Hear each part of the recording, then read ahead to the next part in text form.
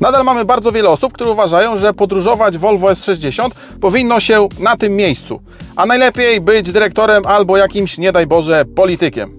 Ja natomiast twierdzę, że jest to samochód, który mimo bycia bardzo komfortową limuzyną posiada takie atuty, dzięki którym najlepiej czuje się tutaj.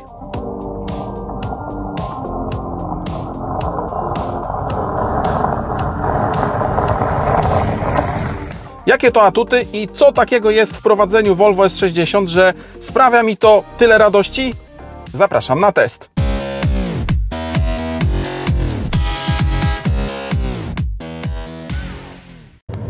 Cześć wszystkim, witajcie w kolejnym materiale na kanale. Dziś za kierownicy samochodu, który byłby w bardzo ścisłej topce modeli, między którymi wybierałbym swoje następne auto, gdybym dzisiaj takie zamawiał. Ale zanim zacznę tłumaczyć dlaczego, jeszcze tylko kilka słów na temat partnera odcinka, czyli Fundacji na Rzecz Uczciwej Bankowości, która ma kilka nowości skierowanych dokładnie do nas, czyli do kierowców. Przydarzyła Ci się jakaś szkoda na pojeździe? Jeśli tak, to powinieneś wiedzieć, że ponad 90% kosztorysów jest zaniżana. Dlatego warto sprawdzić, ile pieniędzy możesz cały czas odzyskać. Towarzystwa zaniżają wartość ubezpieczenia, szczególnie w wypadkach, w których nastąpił jakiś uszczerbek na zdrowiu. I nie wiem, czy wiesz, ale swoich roszczeń możesz dochodzić nawet 20 lat wstecz. A może masz jakiś kredyt gotówkowy albo na przykład samochodowy. To również warto wiedzieć, że blisko 95% takich umów kwalifikuje się do umorzenia wszystkich odsetek, a fundacja wie, jak to zrobić. Idźmy dalej. Masz jakiś kredyt hipoteczny w złotówce albo we franku i chciałbyś taką sprawę wygrać w sądzie? Fundacja przeprowadzi cię przez cały proces. Dlaczego warto jej zaufać? Ponieważ ma już dziesięcioletnie doświadczenie w ochronie konsumentów, a pod swoją ochroną kredyty na łączną wartość przekraczającą 550 milionów złotych. Dlatego po obejrzeniu tego odcinka skontaktuj się z fundacją. Wszystkie kontakty masz w opisie do tego filmu i naprawdę nie ma się nad czym zastanawiać, bo spotkania odbywają się w bardzo fajnej, przyjaznej atmosferze, a wszystkie nawet najbardziej pokręcone zapisy tłumaczone są na język, który zrozumie każdy z nas, nawet ja. I na koniec wszystko możesz załatwić nie ruszając się z domu, bo cały proces możesz przejść online. Także działajcie, oszczędzajcie swoje pieniądze, a my wracamy do Volvo. Dobra, a teraz przechodzimy do tego, co ja w ogóle dostałem do testu, czyli zaglądamy pod maskę. I znajdujemy tam czterocylindrowy, turbodoładowany silnik benzynowy o pojemności 2 litrów. Dysponuje on mocą na poziomie 197 koni mechanicznych, które wspierane są przez dodatkowe 14 koni mechanicznych pochodzących z układu miękkiej hybrydy. Prezentowany motor dysponuje całkiem fajnym momentem obrotowym na poziomie 300 Nm.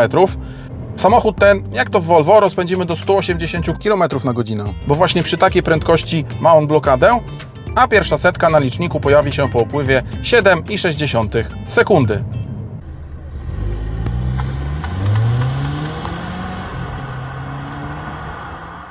Silnik WES60 ma co napędzać, ponieważ samochód waży 1715 kg, jego długość to 4778 mm, no i jak na limuzynę, to oczywiście boimy się krawężników, ale nie boimy się bardzo, ponieważ prześwit to 142 mm. No i dobra, podstawy mamy za sobą. Teraz, jak to od pewnego czasu w scenariuszu, zajmijmy się rozmiarem tego auta i zaczynamy od bagażnika, którego pojemność to 427 litrów. Pojemność może jakaś nierekordowa, ale ja się w ten bagażnik bez problemu pakowałem. Volvo S60 to oczywiście sedan, także główna rzecz, która będzie Was ograniczać, to otwór załadunkowy, który jak to w sedanie, no może największy nie jest. Przy czym myślę, że jeśli ktoś decyduje się na takie auto, o takiej bryle, no to jest to dla niego coś, co nie będzie wielką przeszkodą, więc jak na sedana, to dla mnie tutaj jest bardzo ok. Pytanie, czy ok będzie również z miejscem na nogi i nad głową? No to zobaczcie, ja mam 182 cm wzrostu, i mieszczę się tutaj bez żadnego problemu. Miejsca przed kolanami mam bardzo dużo. Jeśli mam zwrócić Wam na coś uwagę, to jeśli kierowca opuści fotel na sam dół, to włożyć tam stopy nie będzie najprościej. No a taka rzecz, która może najbardziej przeszkadzać, jeśli chcielibyście kogoś posadzić na przykład na środku, to bardzo duży tunel, który ten ktoś będzie miał między stopami. Zwróćcie na to uwagę, ale jeśli z tyłu podróżować będą dwie osoby, no to no problem. Jeśli ktoś natomiast obawiał się, że z miejscem nad głową będzie gorzej, to uspokajam, przy moim wzroście jest cały czas bardzo dobrze, ja głową do dachu nie dotykam. I jeszcze nasz automotowlogowy Grzesiek, który wskoczył na tył. Czy się zmieścił? Zmieścił się. I przypomnę, że siedzi sam za sobą, dał radę zamknąć drzwi i zaraz chciał stamtąd wysiąść. Także chyba na tego posła jeżdżącego z tyłu się nie nadaje, ale się zmieścił. I ostatnia rzecz odnośnie tylnej części samochodu, bo może ktoś zwrócił uwagę, że pasażerowie kanapy mają dwa przyciski do podgrzania swojej części kanapy, ale nie było tam kratki od nawiewu. Natomiast takie kratki znajdują się po boku, także nie bójcie się, nawiew na tył również jest. Dobra, a teraz skakujemy na przód, bo to przynajmniej dla mnie jest zdecydowanie ważniejsze. Odnośnie miejsca wypowiadał się nie będę, bo myślę, że to jest jasne. Natomiast zacznę od foteli, bo w moim mniemaniu S60 to jest samochód raczej na trasę, także to jest bardzo istotny element. I te fotele, po pierwsze, mają bardzo duże możliwości regulacji. Możecie sobie wysuwać elektrycznie tę część, która jest z przodu. Możecie sobie elektrycznie regulować w zasadzie wszystko, oczywiście w tej wersji. Ale to, co chcę Wam przekazać, to to, że te fotele są raczej z takich twardszych. Także jeśli kupujecie S60 po to, po co powinno się kupić S60, czyli głównie na trasę, to raczej polecam Wam, abyście spróbowali taki samochód, znaczy ja to w sumie zawsze polecam, wziąć taki samochód chociaż na weekend, pojechać gdzieś dalej i po prostu się do tego przypasować. Szczególnie, że te fotele są dość mocno wyprofilowane. Ja je uwielbiam, ale to jest coś bardzo indywidualnego. Sprawdźcie to koniecznie. Na pewno też pochwalę za to, że mają wentylację, no w tej klasie samochodu to myślę, że to już jest oczywiste, oczywiście w tej wersji i to jest skóra nappa. Jeśli miałbym jeszcze ocenić wizualnie, to ja na pewno nie wziąłbym tych drewienek, czy powiedzmy drewienek i takiego koloru skóry.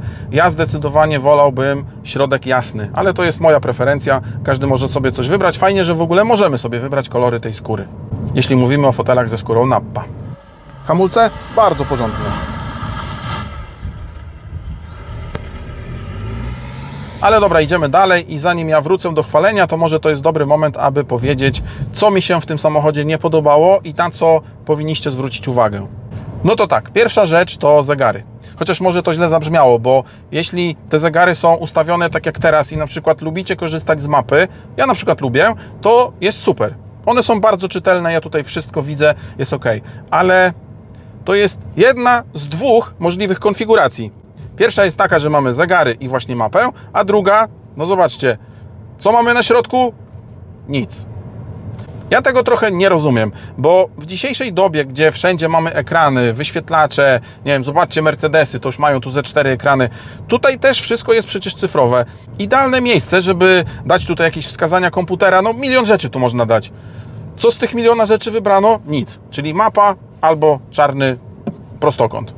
Dziwna sprawa. Druga rzecz, i tu pewnie wkurzę bardzo dużo osób, które twierdzą, że tego nie widać i co ty gadasz, ale ja twierdzę, że widać. I po to zwracam uwagę, aby każdy to sobie sprawdził, zanim zamówi, bo to nic nie kosztuje. A jak zamówi i będzie tego wkurzać, no to już będzie za późno. Czyli ogrzewanie przedniej szyby, a w zasadzie te druciki, które lecą tutaj przez całą szybę, ja to widzę. Mnie to nie przeszkadza, żeby było jasne, albo może ja się do tego przyzwyczajam jeden, dwa dni i jeździcie sobie z tym i, znaczy inaczej, ja sobie z tym jeżdżę bez problemu, ale nawet osoby, które ze mną jeździły, mówiły, że to widać bardzo, więc to nie jest tylko moja opinia. Będę Wam zawsze zwracał uwagę na takie rzeczy, tylko i wyłącznie po to, abyście sprawdzili, jak jest dla Was. Jak Wam nie przeszkadza? Super. Trzecia rzecz to nie wiem czemu teraz zniknęły w S60 możliwości wyboru trybów jazdy, bo to się czasami przydaje. Oczywiście mówię o takich trybach, które działają, ale dobrze jest mieć wybór, po prostu. No i tutaj tego wyboru nie ma. I chyba ostatnia rzecz to ten troszkę zmieniony ekran, a w zasadzie dostęp do sterowania klimatyzacją. Bo już dość dawno w Volvo robimy to niestety w pełni dotykowo, ale jeszcze do niedawna było tak, że mieliście tutaj temperaturę, a po boku mogliście sobie wysuwać takie menu. I to było prostsze. W tej chwili trzeba w to trafić, wyświetla się całe menu, no i możemy sobie sterować klimatyzacją. Ja tak jak zawsze mówię, ja tego nie lubię, Moim zdaniem takie rozwiązanie jest dużo gorsze niż jakieś przyciski czy pokrętła, więc tak jak w każdym samochodzie, jeśli to wygląda w ten sposób, to zwracam na to uwagę, że to jest niefajne, z zaznaczeniem, że oczywiście się do tego przyzwyczaicie. No i pewnie powinienem Wam wskazać jeszcze kilka innych wad, ale dla mnie to jest w zasadzie tyle. Bo zaraz przejdę sobie dalej, pewne rzeczy, które dla mnie są plusem, dla kogoś mogą być minusem, ale mówię oczywiście o swoim zdaniu, także to jest to, co w tym aucie zauważyłem z tych rzeczy, które mi się nie spodobały. Tak więc chyba wracamy do chwalenia. I tak, jak odebrałem ten samochód z parku prasowego, to byłem troszkę rozczarowany, że nie mam tutaj systemu audio Bowers Wilkins, ale potem zastanowiłem się, że to w sumie dobrze, chociaż ja ten system kocham miłością absolutną. Tutaj mam Harman Kardon, firmę, którą też bardzo lubię, ale ucieszyłem się dlatego, bo będę mógł mieć po prostu porównanie. I moje wnioski są takie, że naprawdę bardzo pozytywnie zaskoczył mnie ten system. Gra czysto, przestrzennie, jeśli nie jesteście takim świrem jak ja, ale nadal bardzo lubicie muzykę i nie chcecie dopłacać prawie 13 tysięcy złotych do Bowers Wilkins, który jest czymś fenomenalnym, ale to jest nadal czymś bardzo dobrym, więc to jest bardzo dobra alternatywa. W mojej opinii to jeden z najlepszych systemów, do których nie trzeba dopłacać milionów.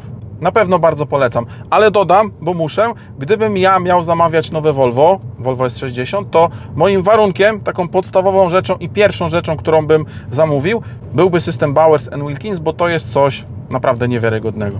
I to jest coś, za co ja ten samochód uwielbiam, więc u siebie musiałbym to mieć. A za co jeszcze chciałbym mieć S60? Zawieszenie. To jest samochód bardzo komfortowy. Bardzo, bardzo komfortowy.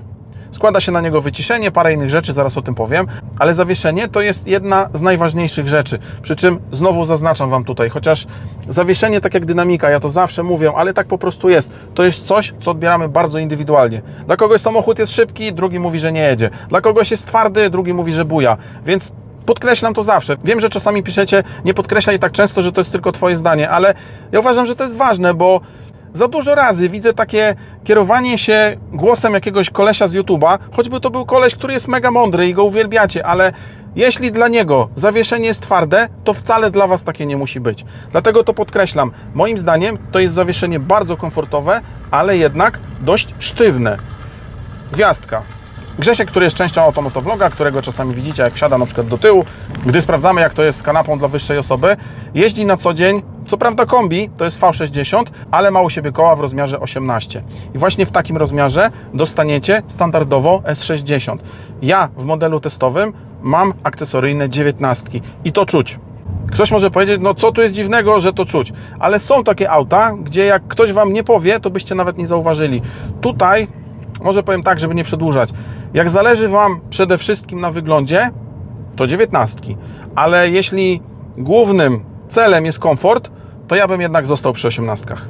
Przy czym podsumowując temat zawieszenia, coś fantastycznego, jedna z rzeczy, za które S60 uwielbiam i jedna z rzeczy, za które chciałbym go mieć. Jakie są inne elementy składowe komfortu? Oczywiście wyciszenie, które tutaj stoi na bardzo wysokim poziomie. Ile byście nie jechali, 120, 140 czy gdzieś tam w Niemczech 160, jest bardzo cicho, można delektować się muzyką, można swobodnie rozmawiać, także super. Chociaż jedna taka ciekawostka. Jak uruchomicie samochód i staniecie na zewnątrz, to ten silnik ma taki trochę dziwny dźwięk. Takie nie wiadomo co, nic szczególnego. Jak otworzycie maskę, to zobaczcie, ona, jak to w Volvo, otwiera się prawie pionowo. Jak nie macie ze 190 cm wzrostu, to pewnie zamykać będziecie ją w taki sposób, że musicie stanąć obok samochodu, a nie przed nim. Przy czym zobaczcie, pod tą maską nie ma żadnego wygłuszenia. Spotkałem takie głosy, że ona jest zrobiona z takiego materiału, czy w taki sposób, że sama w sobie wygłusza te dźwięki. Nie wiem, czy to prawda, czy ktoś sobie robił jaja, ale ja sprawdzam, jak jest w praktyce. No i o ile z zewnątrz jest średnio, to w środku albo tego silnika w ogóle nie słychać, tak jak jadę teraz, jest kapitalnie, albo jak przyspieszacie, to ten dźwięk jest całkiem fajny. To jest dziwne, ale ja bardzo lubię słuchać dźwięku tego silnika przy przyspieszaniu. W ogóle on mnie nie męczy, a wręcz mi się podoba. Także może taka ciekawostka odnośnie wyciszenia, wygłuszenia. Dodam, że tutaj nie jest nic dogrywane z głośników, bo co tutaj dogrywać w tego typu samochodzie. No i jeszcze oczywiście kwestia prowadzenia. To jest limuzyna, i ten samochód prowadzi się jak limuzyna. Nie spodziewajcie się oczywiście, że będziecie tutaj ścinać każdy zakręt, zamiatać tyłem i nie wiem co jeszcze robić. Nie będziecie, znaczy w sumie nie wiem, bo może będziecie, ale to nie jest po to samochód. Przy czym jak na klasę, w której on jest, to nie jest to oczywiście BMW, ale prowadzi się całkiem przyjemnie. Ja zwrócę uwagę odnośnie prowadzenia na coś innego. Ja kilka razy mówiłem o tym w przypadku Volvo, ale to jest bardzo warte podkreślenia. Czyli ten system miękkiej hybrydy. 14 koni. Czy on tam daje dynamikę, czy obniża spalanie? Nie wiem, nie mam jak tego sprawdzić, ale mogę sprawdzić, czy widzę na co dzień jedną rzecz. Płynność. Mówiłem o tym wiele razy, ale naprawdę warto. I zwróćcie na to uwagę, proszę Was, jak będziecie na jeździe testowej i nie jeździliście Volvo, to zwróćcie na to uwagę. Jak, nie wiem, stanę teraz na światłach, to czy podczas hamowania, czy potem podczas ruszania, to się wszystko dzieje tak płynnie, że głowa mała. Nie ma żadnych dziwnych dźwięków przy hamowaniu, przy gaszeniu silnika. System start-stop. Może powiem tak. jakbyście byli osobą, która dopiero zrobiła prawo jazdy, oglądalibyście mój kanał, kupilibyście pierwszy samochód i to byłoby to Volvo, to przypominając sobie, co ja milion razy mówiłem o systemach start-stop, czyli że szarpie, dziwne dźwięki i masakra, to powiedzielibyście, co za dzban. Bo o co mu chodzi? Cisza, spokój, nic nie słychać, nic nie skacze, nic nie szarpie. No ale to tutaj, w bardzo wielu samochodach to jest masakra. Tutaj jest coś fantastycznego. Ja Volvo S60 uwielbiam za płynność jazdy. Genialna rzecz. Pytanie, czy ten samochód będę też uwielbiał za spalanie. No to u mnie było tak. Jeżdżąc w mieście, jeżdżąc normalnie, nie starając się robić konkursów na jazdę o kropelce, bo nikt tak na co dzień nie jeździ, ja spalałem między 8 a 9 litrów. Pod miastem, gdzieś tak maks do 90 na godzinę, 7, może nawet troszkę mniej. Na ekspresówce 7,5 pod 8, a na autostradzie już bliżej 9.